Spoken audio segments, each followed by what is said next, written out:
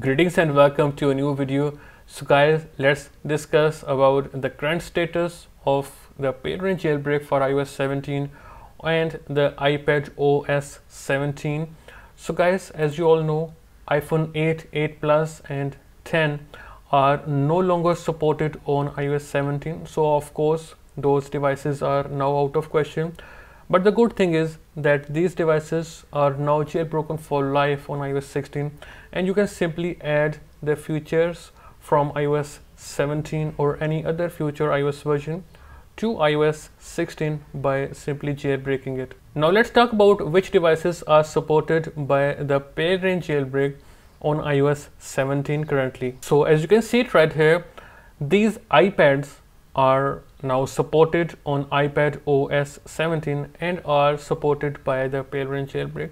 iPad 6, iPad 7, 10.5 inch iPad Pro and 12.9 inch iPad Pro second generation.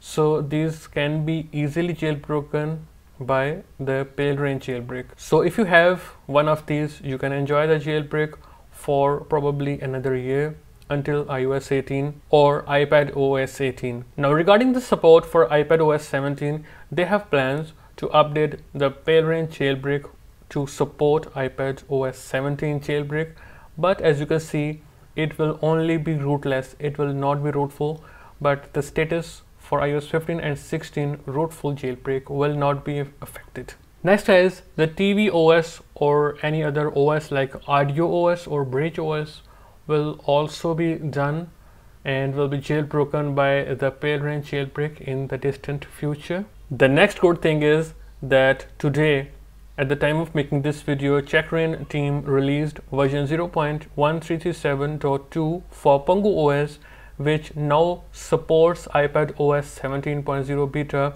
with all the other fixes and changes that you can see them right here. And of course the Palera1n team is now working on it. You can also see new changes to iOS 15 branch of Checkra1n which is now updated to support iOS 17 or iPad OS 17 as you can see these updates right here. You can see those changes at the github page for Checkra1n also the official github page of Checkra1n and PongoOS at the iOS 15 branch you can see them all right here. And it has been updated about 11 hours ago at the time of making this video. And lastly you can see that iOS 17 or iPad OS 17 has been jailbroken in under 24 hours as you can see it right here. We can see the version iOS 17.0 it's an iPad 7,5 and you can see that Sileo is running. And of course this is rootless this is not rootful